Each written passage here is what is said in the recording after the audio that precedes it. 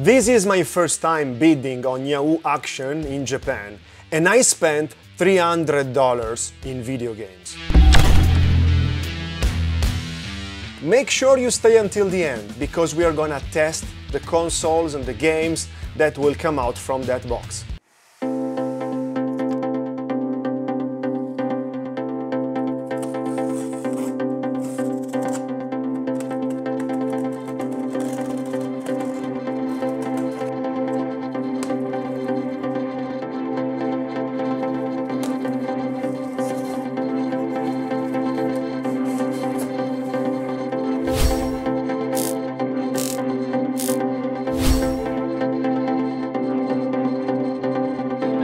PlayStation 2 memory cards. Who doesn't love these? I really like the colors.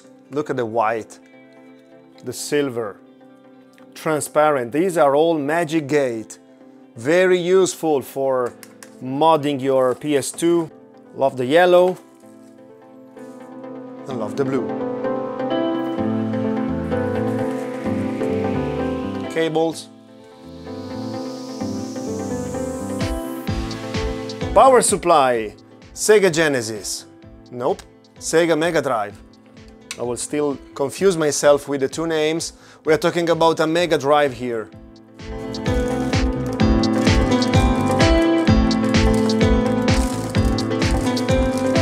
Now, how cool is this?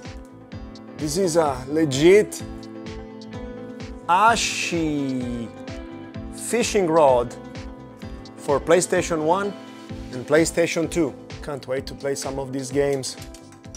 See, can you hear? Really nice build quality.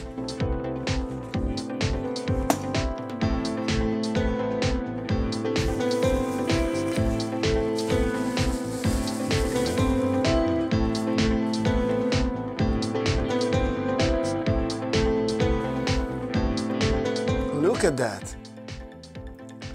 Sega Genesis controller from Japan with the blue button and the red ABC button. Will need some cleaning. So much love coming out of this box.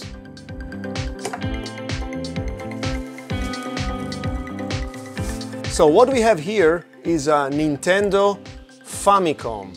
This is the well-known top loader Famicom. You see that the card can be inserted from the top. This is not only a beautiful piece of art, it really solved the reliability issues related to the spring-loaded mechanism of the original NES, the front loader one. This is also known in Japan as the new NES or the AV NES. Why? Because it has not the RF out, typical of the top loader American NES, but this has really the multi-AV out, which is the same as the Super Nintendo or SNES or Super Famicom. Another important difference between this one and the American version, this one is flat.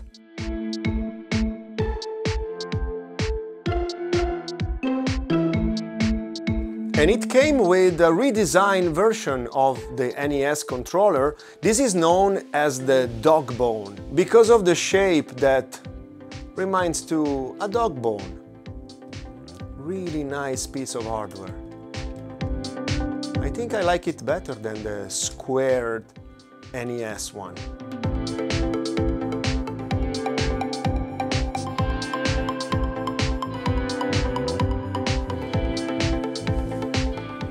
Why not?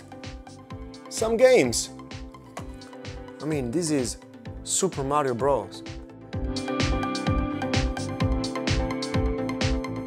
Mario Open Golf.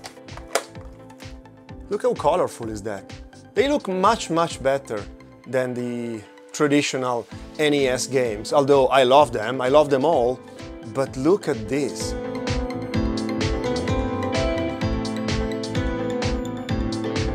And because one fishing rod wasn't really enough Here you have a Dreamcast fishing rod controller. And this was released shortly after the debut of Sega Bass Fishing. This is the only official fishing peripheral for a video game console to date. What people don't know about this is that, of course, it's a fishing rod, but you can actually play Soul Calibur and Virtua Tennis with it. Cables.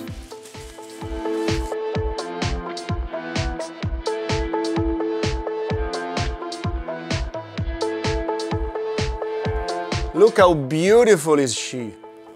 This is obviously a PlayStation 2 Slim in white color. It's a compact version of the best-selling PlayStation console of all time. And the Slim was released in 2004 with a dramatically reduced form factor compared to the fat model. It has an external PSU, which helps keeping the form factor small. And that PSU is one of the best and the most sought after in the retro gaming world. On top of that, it has an integrated network adapter, but no hard drive support. This paired with a white memory card and a white controller DualShock 2, man, I am absolutely blown away by the style of this thing.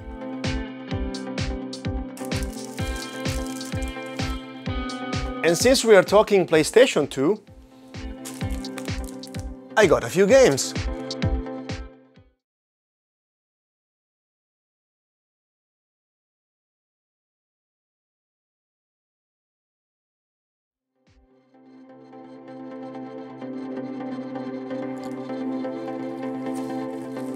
Cables, power supply, cables, power supply,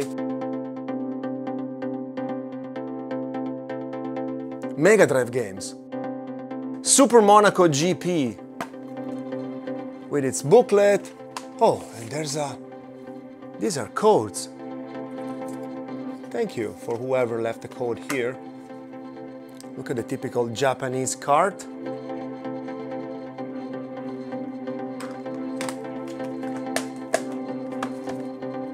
Super Volleyball. I loved this game so much. I played it so much.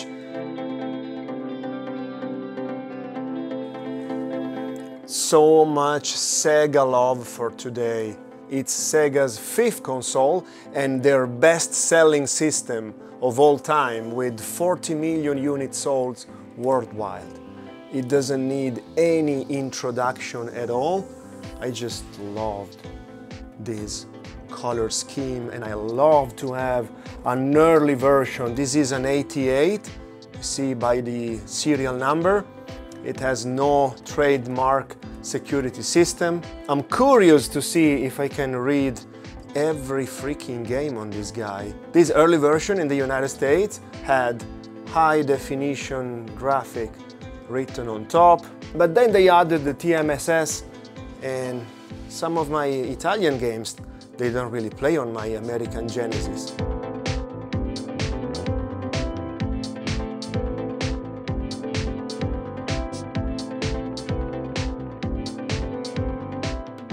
We're talking about something released in 2015 by Takara with an MSRP of about $70 at launch, easily twice as much in today's market. This is the ultimate pinnacle of a Studio. I mean, this is Optimus Prime and it turns into a Sony PlayStation. It even has a tiny controller and a tiny memory card. And this was part of a series that included also Megatron. This is the boy. I didn't get it in these, in these auctions and they look amazing together. Sega Mega Drive Megatron not a Genesis Megatron. Does it remind you of something? Yes, it should. You'll see an unboxing video and a review together with my son Leo of these guys in the near future. But man, I am happy as a kid.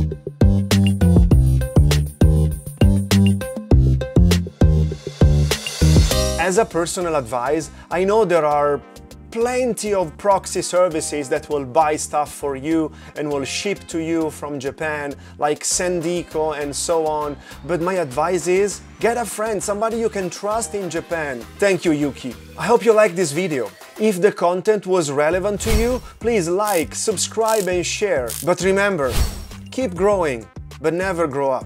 Until the next one.